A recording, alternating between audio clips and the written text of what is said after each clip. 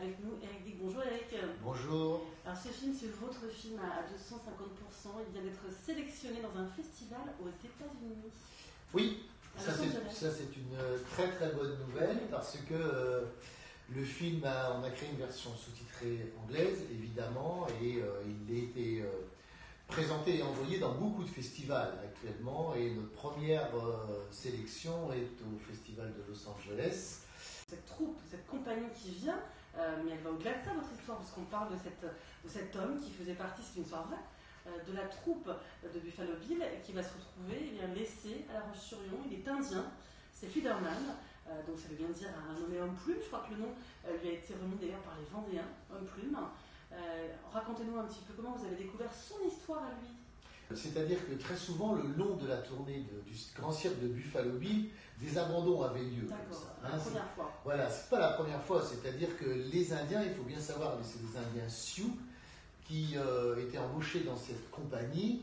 Et en 1905, en fin de compte, on venait montrer un peu les sauvages. Mmh. Hein.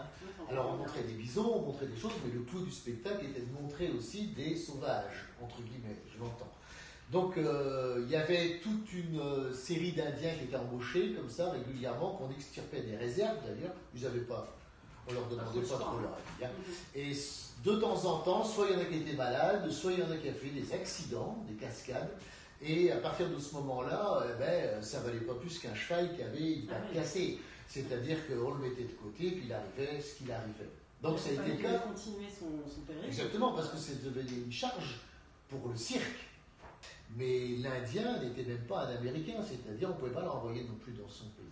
Alors qu'en faire, eh ben, il a fallu trouver une, une, bonne famille de la région qui euh, l'héberge, l'accueille, le temps de trouver une solution administrative. Donc il se retrouve chez des maréchins.